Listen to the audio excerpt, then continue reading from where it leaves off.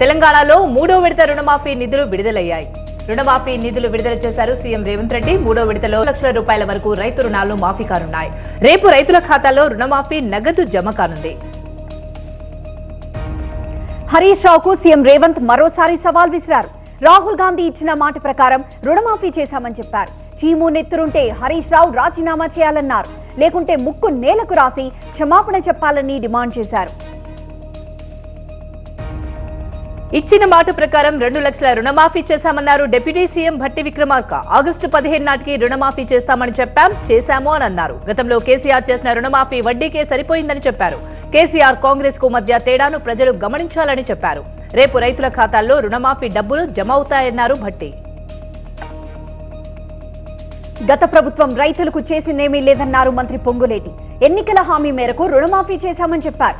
దేశంలో ఎక్కడా లేని విధంగా రుణమాఫీ చేసి కాంగ్రెస్ సర్కార్ చరిత్ర సృష్టించిందన్నారు మంత్రి ఉత్తమ్. ప్రభుత్వం ఏకకాలంలో రెండు లక్షల రుణమాఫీ చేయలేదన్నారు కేటీఆర్. సన్నవడ్లకే బోనస్ అని చేసిన చెప్పిన రేవంత్ మాట మార్చారని చెప్పారు. ఆడబిడ్డల పెళ్ళిళ్ళకు తులం బంగారం ఇస్తామని మోసం చేశారని అన్నారు. జాబ్ క్యాలెండర్ పైన సెటార్లు వేశారు.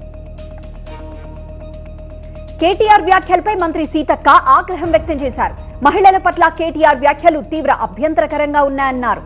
ఆర్టీసీ బస్సుల్లో మహిళలు బ్రేక్ డాన్స్లు రికార్డింగ్ డాన్స్లు చేసుకోవచ్చని దారుణంగా మాట్లాడారని మండిపడ్డారు.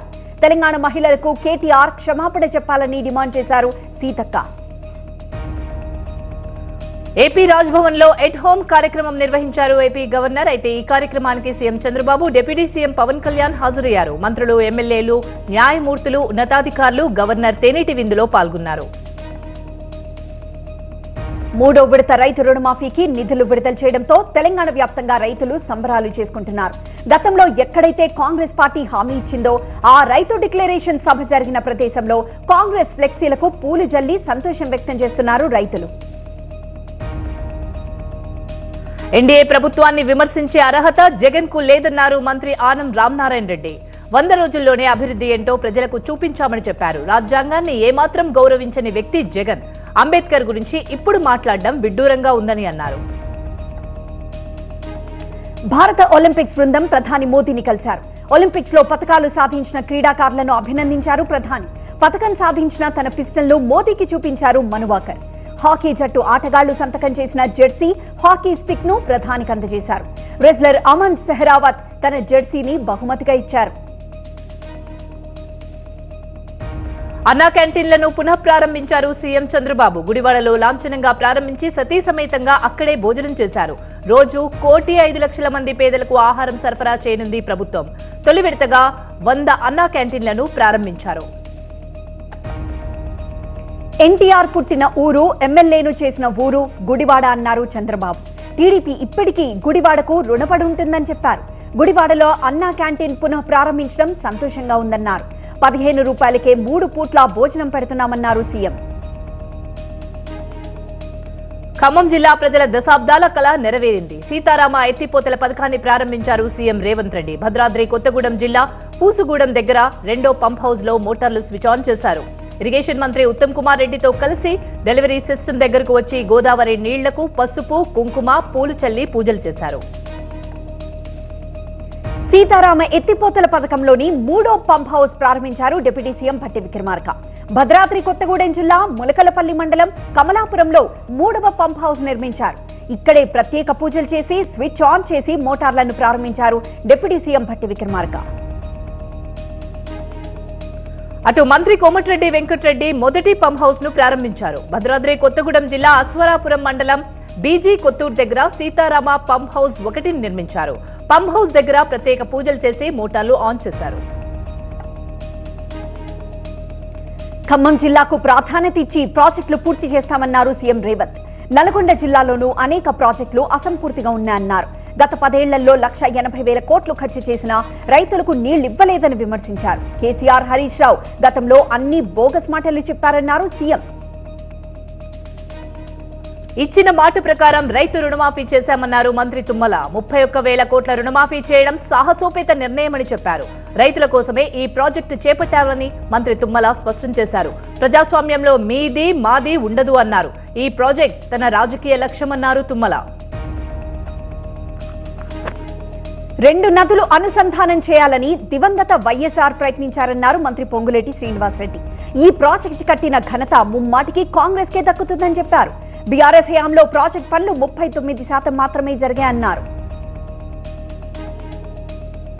ఖమ్మం జిల్లాకు సాగునీరిచ్చేందుకు రాజీవ్ ఇందిరాసాగర్ చేపట్టామని మంత్రి ఉత్తమ్ కుమార్ రెడ్డి అన్నారు. కేసీఆర్ హయాంలో ఈ రెండు ప్రాజెక్టులను కలిపి రీడిజైన్ చేశారని ప్రాజెక్ట్ అంచనా వ్యయాన్ని పెంచారని అన్నారు. కాంగ్రెస్ అధికారంలోకి వచ్చాక సీతారామ ప్రాజెక్ట్ పనులు వేగవంతమయ్యాయని అన్నారు. తెలంగాణ పథకాలు దేశానికి ఆదర్శమన్నారు డిప్యూటీ సీఎం భట్టి విక్రమార్క. ప్రజాప్రభుత్వానికి అభివృద్ధి సంక్షేమం రెండు కళ్ళన్నారు రాష్ట్ర అభివృద్ధిలో అగ్రగామిగా ఖమ్మం ఉంటుందని చెప్పారు. ధరణి స్థానంలో అత్యుత్తమ రెవెన్యూ చట్టం తెస్తామని డిప్యూటీ సీఎం స్పష్టం చేశారు. ఏపీలో గత ఐదేళ్ళలో ఆర్థిక వ్యవస్థ చిన్నా భిన్నమైందన్నారు డిప్యూటీ సీఎం పవన్ కళ్యాణ్. శేషాచలం అడవుల్లో కొట్టేసిన నూట నలభై కోట్ల విలువైన ఎర్రచందనం దుంగలను తరలిస్తుంటే కర్ణాటకలో పట్టుకున్నారన్నారు.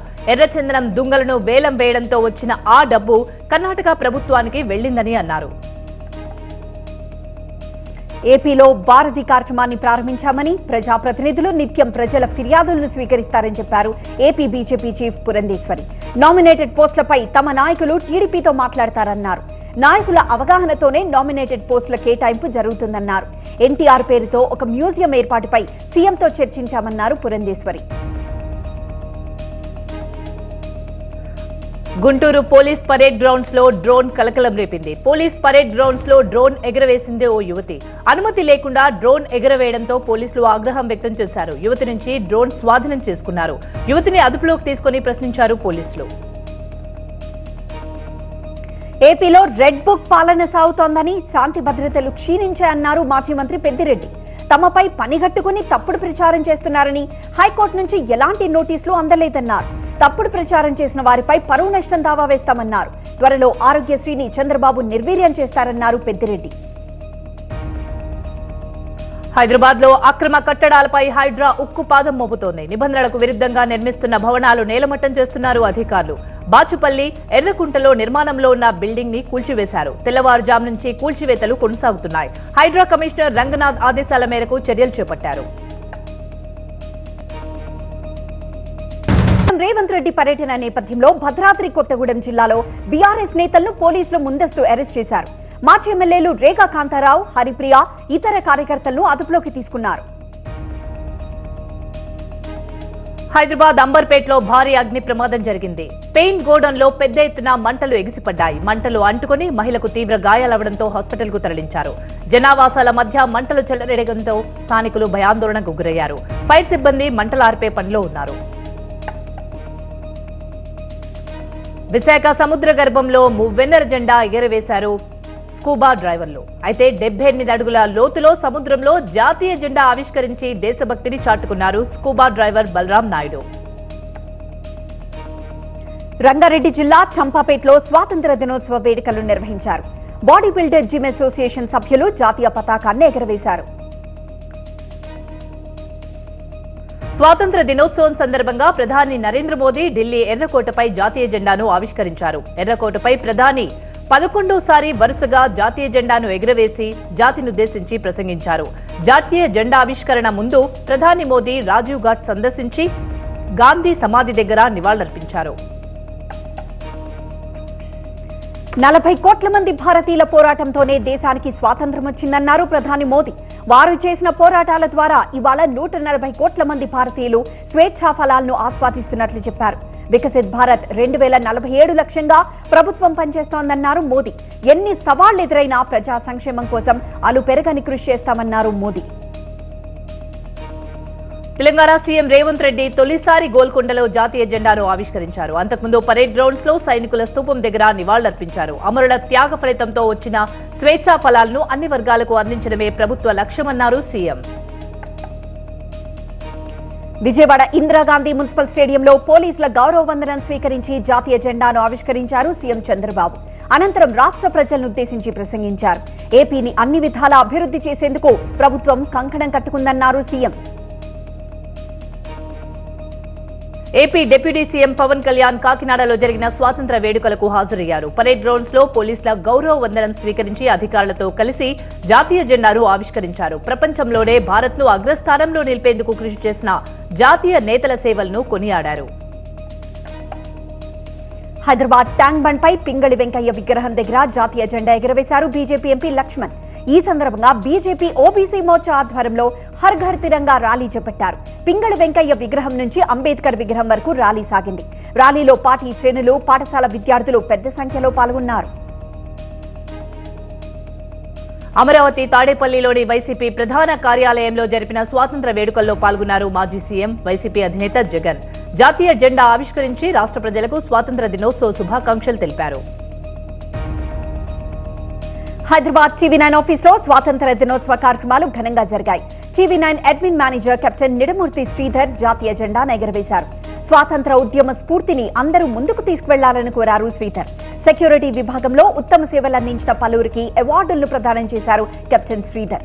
అనంతరం స్వీట్లను పంపిణీ చేశారు. స్వాతంత్ర దినోత్సవం సందర్భంగా టీవీ నైన్ ఆఫీస్లో సాంస్కృతిక కార్యక్రమాలు ఘనంగా నిర్వహించారు. ఈ కార్యక్రమంలో TV nine managing editor Rajinikanth పాల్గొన్నారు. ఉద్యోగులతో కలిసి సరదాగా గేమ్స్ ఆడారు. ఢిల్లీలోని ఎర్రకోటలో జాతీయ పతాకావిష్కరణ జాతినుద్దేశించి ప్రసంగించిన అనంతరం ప్రధాని నరేంద్ర మోదీ చిన్నారులు యువకులను కలుసుకున్నారు. స్వాతంత్ర దినోత్సవ వేడుకలు చూడడానికి వచ్చిన ప్రేక్షకులను కలిసి అభివాదం చేశారు. మాజీ రాష్ట్రపతి రామ్నాథ్ కోవింద్ ఢిల్లీలో స్వాతంత్ర దినోత్సవ వేడుకల్లో పాల్గొన్నారు. ఢిల్లీలోని ఆయన నివాసంలో జాతీయ జెండాను ఎగురవేశారు కోవింద్. అనంతరం పోలీసులు సెక్యూరిటీ సిబ్బందికి మిఠాయిలు పంపిణీ చేశారు. స్వాతంత్ర దినోత్సవం సందర్భంగా ఢిల్లీలోని తన నివాసంలో జాతీయ జెండాను ఎగురవేశారు కేంద్ర మంత్రి జితేంద్ర సింగ్. ఎర్రకోటపై ప్రధాని చేసిన ప్రసంగంలో రాబోయే రోజుల్లో రోడ్ మ్యాప్ను తెలియజేశామన్నారు కేంద్ర మంత్రి. రెండు వేల నలభై ఏడు నాటికి వికసిత్ భారత్గా అవతరిస్తుందని అందుకు సంబంధించిన రోడ్ మ్యాప్ను ప్రధాని మోదీ సూచించారని తెలిపారు. గుజరాత్లోని ఇండో పాక్ సరిహద్దు జీరో పాయింట్ అయిన నాట్బెట్ వద్ద డెబ్బై ఎనిమిదవ స్వాతంత్ర దినోత్సవాన్ని జరుపుకున్నారు బీఎస్ఎఫ్ జవాన్లు. నాట్బెట్లో గుజరాత్ బీఎస్జీ ఐజీ అభిషేక్ పాఠక్ జాతీయ పతాకాన్ని ఎగురవేశారు. పుల్బరీలోని ఇండో బంగ్లాదేశ్ సరిహద్దులో డెబ్బై ఎనిమిదవ స్వాతంత్ర దినోత్సవం వేడుకలు జరుపుకున్నారు భారత సరిహద్దు రక్షక దళం సభ్యులు. ఈ సందర్భంగా బంగ్లాదేశ్ సరిహద్దు రక్షక దళంతో స్వీట్లు ఇచ్చిపుచ్చుకున్నారు భారత సైనికులు.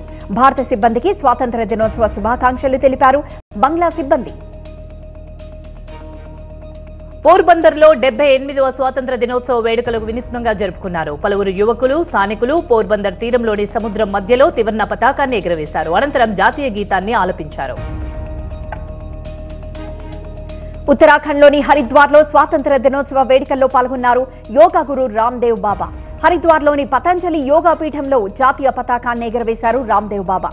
కార్యక్రమంలో చిన్నారులు స్వాతంత్ర సమరయోధుల వేషధారణలో పాల్గొని ప్రత్యేక ఆకర్షణగా నిలిచారు. అస్సాంలో ఐఈడీ బాంబు కలకలం రేపింది. గౌహతిలోని గాంధీ మండపానికి వెళ్ళే రహదారిపై ఐఈడీ బాంబును కనుగొన్నారు భద్రతా సిబ్బంది. బాంబ్ స్క్వాడ్ సిబ్బంది తనిఖీలు చేసి ఐఈడీని స్వాధీనం చేసుకున్నారు. జాతీయ మహిళా కమిషన్ సభ్యురాలిగా రాజీనామా చేశానన్నారు ఖుష్బు. ఇకపై పార్టీ కార్యక్రమంలో యాక్టివ్గా ఉండాలనుకుంటున్నానని చెప్పారు. పదవుల కోసం లాబియింగ్ చేయడం లేదని చెప్పారు. పూర్తి స్థాయిలో రాజకీయాల్లో యాక్టివ్గా ఉంటానని చెప్పారు. అధిష్టానం ఏ బాధ్యత అప్పగించినా పనిచేస్తానని చెప్పారు ఖుష్బు.